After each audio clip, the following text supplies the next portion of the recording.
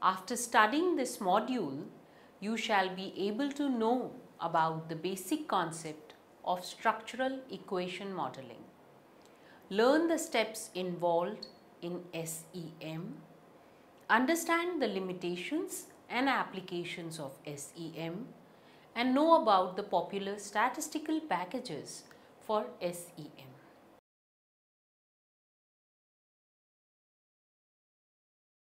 The structural equation modeling or SEM as we call it is one of the latest statistical procedures that are gaining popularity. The SEM is generalizable and flexible and thus has wide applicability across the different fields of knowledge.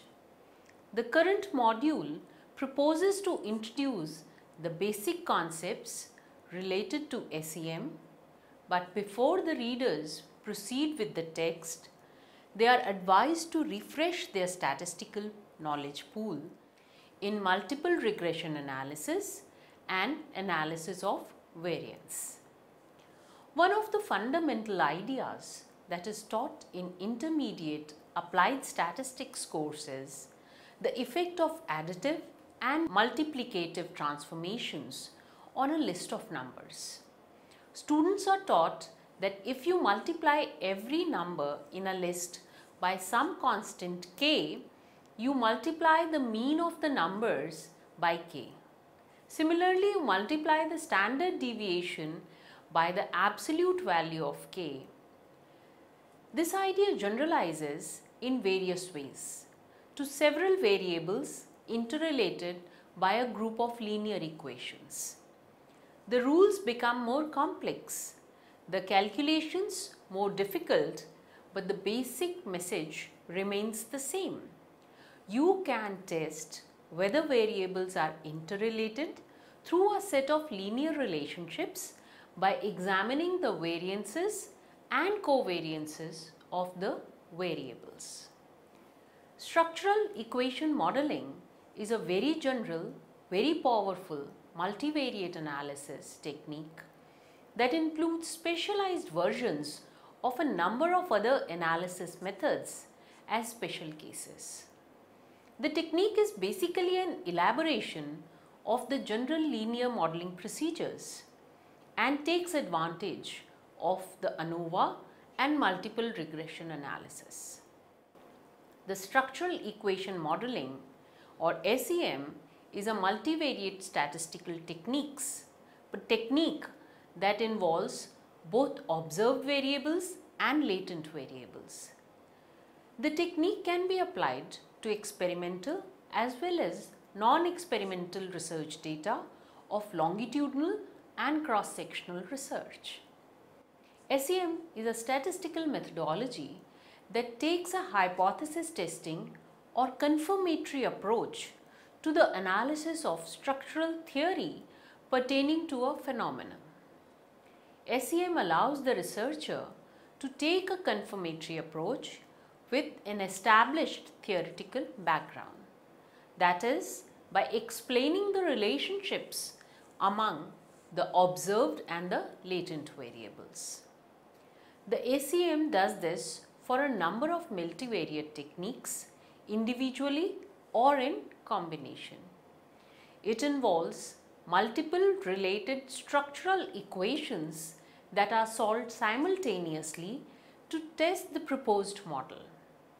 SEM is not causal and does not explain the cause and effect relationships between the variables. The SEM focuses on two aspects. The causal relationships in the model are represented by arriving at a series of structural regression equations. And the other aspect is that the structural equations representing the causal relationships can be pictorially presented to facilitate a better understanding of the theoretical concepts under study. There are a number of specialized statistical packages which are readily available for a user-friendly application of SEM to the data. Some of the software packages are Lisrel, Amos and EQS. As the module explores the basic concepts of SEM, only the reader, SEM only, the readers are advised to go through the works of authors like Tabachnick and Fidell, Schumacker and Lomax and Byron for a deeper understanding of the SEM and a more elaborate work on it. The concept of SEM. The structural equation modeling known by various other names such as confirmatory factor analysis, latent variable modeling, causal model, etc. The SEM is a multivariate statistical technique that combines ANOVA, factor analysis and multiple regression and is used to test relationships among the variables. SEM is a graphical modeling interface that uses confirmatory factor analysis to correct measurement error. It tests models with multiple dependent variables and allows for variables to be dependent with some variables and independent with respect to others.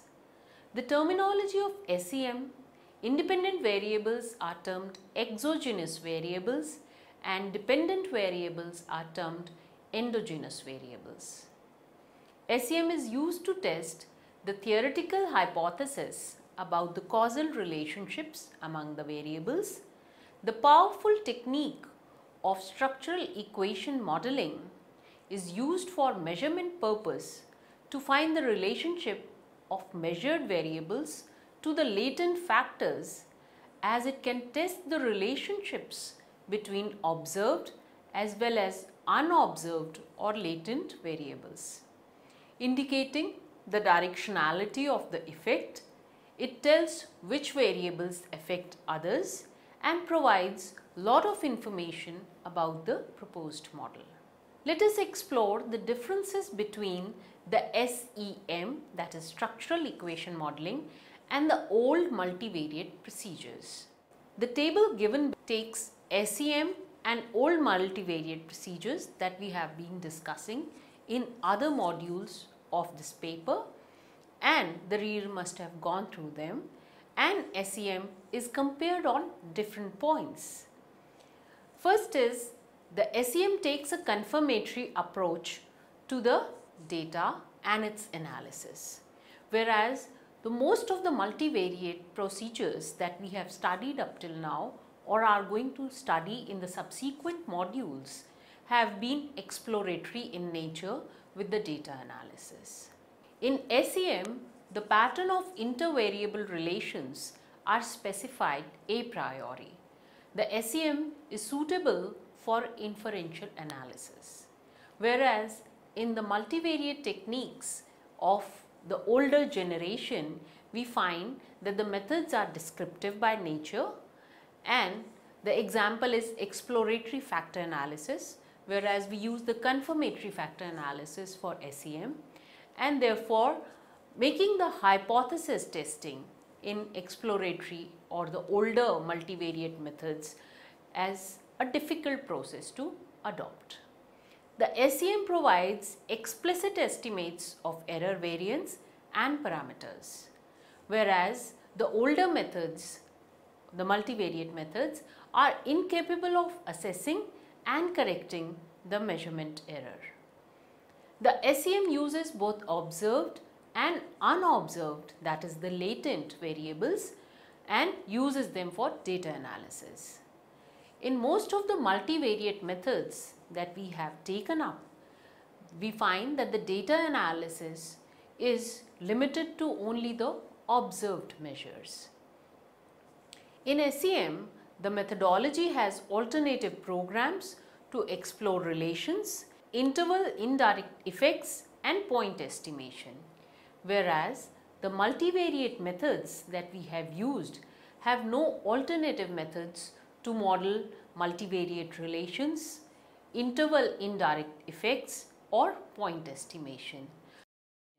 So we find that SEM, these techniques and procedures are a step ahead of the usual or the older multivariate techniques that we have been adopting up till now. And that is the reason we find that SEM is gaining popularity in the field of statistical analysis and quantitative methods very rapidly. Statisticians have developed procedures for testing whether a set of variances and covariances in a covariance matrix fit a specified structure. The way structural modeling works is as follows. The structural modeling works as the researcher states the way he believes the variables are interrelated. Often this is done with the help of a path diagram. This is done using the already stated theoretical concepts from the knowledge pool. So before one proceeds with the application of structural equation modeling, it is very important to have a sound knowledge pool of the particular area in which you want to proceed with your research. The next step is that one works out via some complex internal rules what the implications of these are for the variances and covariances of the variables. Then one tests whether the variances and covariances fit this model of them that they have devised using SEM. The results of the statistical testing and also parameter estimates and standard errors for the numerical coefficients in the linear equations are reported. On the basis of this information, then the researcher decide whether the model seems like a good fit to one's data or not. These are some important and very basic logical points to remember about the process that we are just about to explore called the structural equation modeling. First, although the mathematical machinery required performing structural equation modeling is very complicated, we must keep in mind that it is one of the better measures that has to be applied to the research data. Second is one must remember that it is unreasonable to expect a structural model to fit properly for a number of reasons. A structural model with linear relations is only an approximation. The world is unlikely to be linear and indeed the true relations between variables are probably non-linear. Moreover, many of the statistical assumptions are somewhat questionable as well. So, although we have a very good fitting structural model, it is unreasonable to expect that it is a perfect fit. Third, we must remember that simply because a model fits the data, well, it does not mean that the model is necessarily correct. One cannot prove that a model is true to assert that, to assert this is a fallacy of affirming the consequent. The definitions of SEM. As defined by eminent scholars, the structural equation modeling SEM is defined as that SEM is a comprehensive statistical approach to testing hypotheses about relations among observed and latent variables. This was proposed by Hoyle in 1995. Another definition says that SEM is a methodology for representing, estimating and testing a theoretical network of mostly linear relations between variables. This definition was given by Rigdon in 1998. MacCallum and Austin in 2000 proposed that SEM test hypothesized patterns of directional and non-directional relationships among a set of observed that is measured and unobserved that is the latent variables. These are but some of the few definitions that we have taken up from the number of uh, SEM definitions available and produce them for you. The uses of SEM. Hoyle's 1994 reviews and tells us that SEM can be used to address the following. It questions it answers and addresses the questions about the causal processes involved. At the same time, SEM can also be used for the basic questions of measurement and then SEM also addresses the questions about the causal process when variables are not well measured. Let us explore the steps that are involved in the conduction of SEM or the application of SEM to the research data. Steps of conducting SEM. The first step is development of the hypothesis. The first step in conducting SEM is to develop a hypothesis by seeing the relationship that exists among the observed and the latent variables. The next is the construction of a path diagram. The path diagrams are constructed and they pictorially represent a model. Path diagrams play a fundamental role in structural modeling. Path diagrams are like flowcharts. They show variables interconnected with lines that are used to indicate the causal flow. One can think of a path diagram as a device for showing which variables cause changes in other variables. However, path diagrams need not be thought of strictly in this way. They may also be given a narrower and more specific interpretation. Consider the classic linear regression equation y is equal to ax plus e. Any such equation may be represented in a path diagram. And of course, a path diagram may have a number of such linear regression equations that may make the complete path diagram or the model. Such diagrams establish a simple isomorphism. All variables in the equation system are placed in the diagram either in boxes or ovals. Each equation is represented on the diagram as follows. All independent variables, the variables are on the right side of the equation and they have arrows pointing to the dependent variables.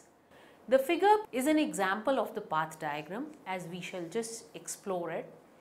The exogenous latent variables are the independent variables as they are responsible for causing changes to other variables.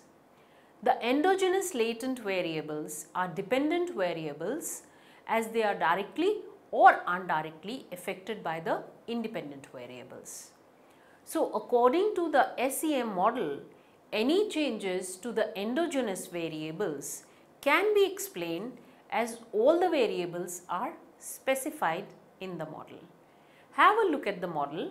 We find that there are equations represented, arrows which are pointing, right, and the E which is specifying the error variance from outside also.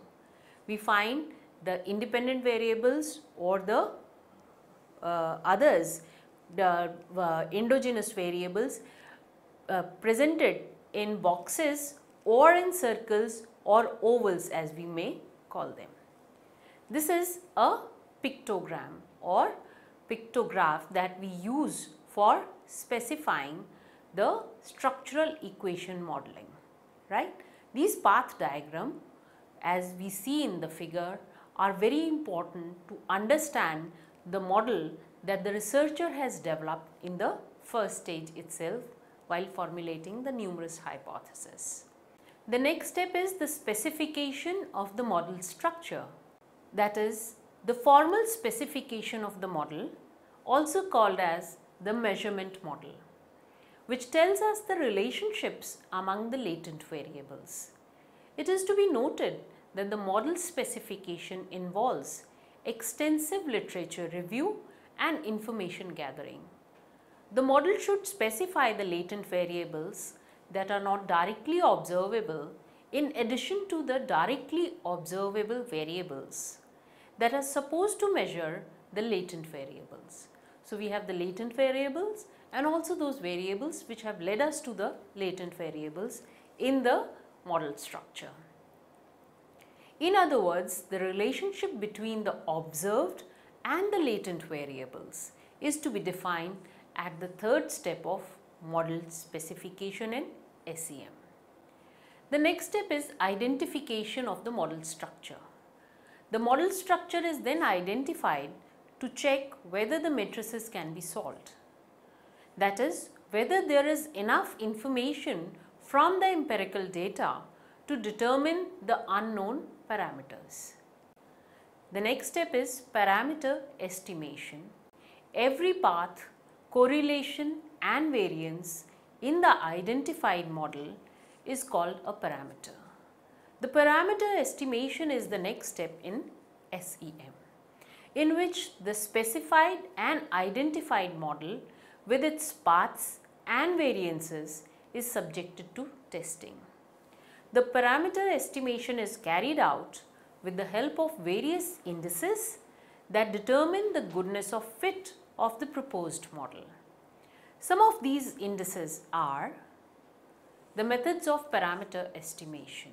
The methods of parameter estimation can be unweighted least square.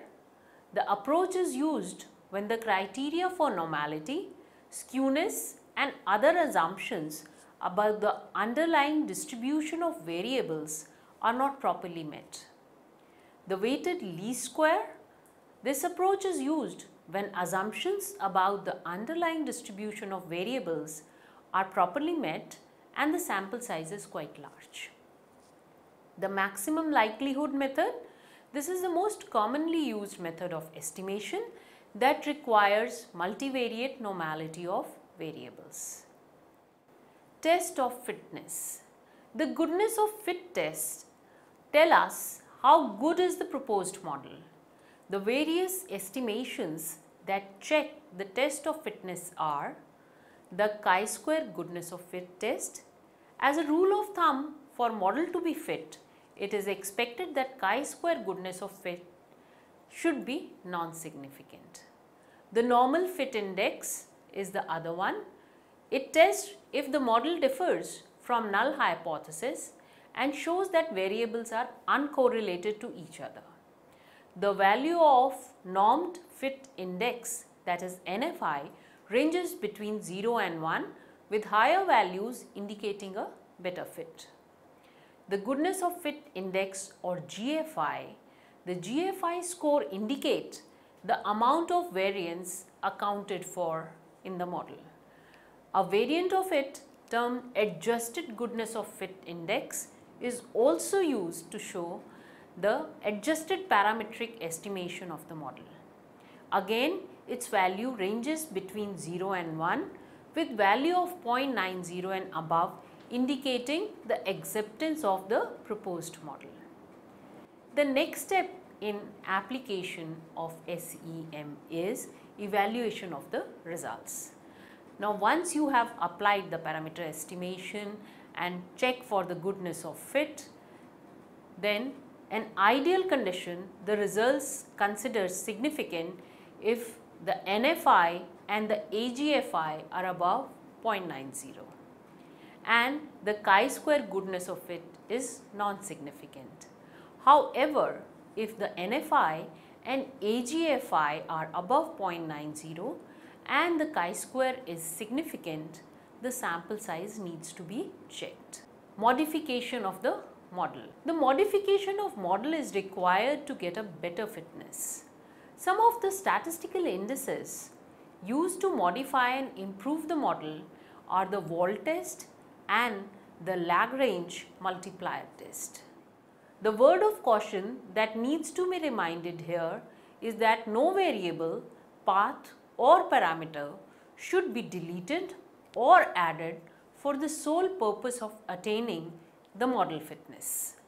The grounding of the model should always be rested on sound literature and theoretical knowledge only. As strictly mentioned in literature, SEM is a model testing procedure and not a model building procedure. Benefits of using SEM. SEM is a flexible and comprehensive approach that requires a priori specification of model. It is used to test the theoretical hypothesis about the relationships among the variables. SEM is useful to test relationship between the observed as well as unobserved or latent variables. SEM helps to understand the pattern of correlation or covariance among the sets of variables. The methodology is rigorous as it involves simultaneous testing of a set of equations for model fitness. Limitations of SEM SEM is a confirmatory approach that requires an established theory about the relationships among the variables. A large sample size is required for model specification and estimation in SEM. A minimum of 10 subjects per estimated parameter is proposed to carry out SEM. The technique is also greatly influenced by effect size and the power. So, SEM is not an experimental design that determines cause and effect relationship among the variables. So, these are some of the limitations that one must keep in mind before one goes for the applications of SEM. And some of the major applications of SEM are in causal modeling or path analysis, which hypothesizes causal relationship among the variables and test the causal models with a linear equation system. Causal models can involve either manifest variables, latent variables or both. Confirmatory factor analysis is an extension of factor analysis in which specific hypotheses about the structure of factor loadings and intercorrelations are tested. Then other application is second order factor analysis which is a variation of factor analysis in which the correlation matrix of the common factors is itself factor analyzed to provide second order factors. Regression models also use SEM, an extension of linear regression analysis in which regression weights may be constrained to be equal to each other or to be specified numerical values. The covariance structure models which hypothesize that a covariance matrix has a particular form.